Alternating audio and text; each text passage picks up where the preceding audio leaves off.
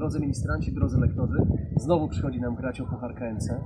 Wracamy do Rzeszowa, byliśmy tam, ja też tam byłem w 2018 roku na specjalne zaproszenie księdza Tomka Blicharza. On jest już w domu ojca, ale będzie nam gorąco kibicował, a my spróbujemy zagrać także dla niego. Y, To moje zaproszenie ma miejsce w trakcie gorączki Euro 2020, które y, to Euro ja też obsługuję jako dziennikarz telewizji polskiej. Sam się zastanawiam, gdzie emocje będą większe, czy tam, gdzie będą grali Polacy, czy tam, gdzie będziecie występować wy.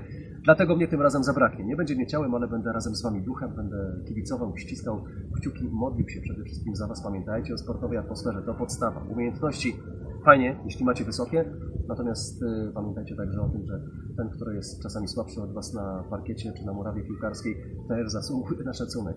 Mam nadzieję, że w przyszłym roku się spotkamy i będziemy mogli sobie powymieniać troszeczkę opinii na temat tego, co wy robicie z piłką i na temat tego, co polska reprezentacja z piłką robi. Mam nadzieję na dobry występ w Euro 2020.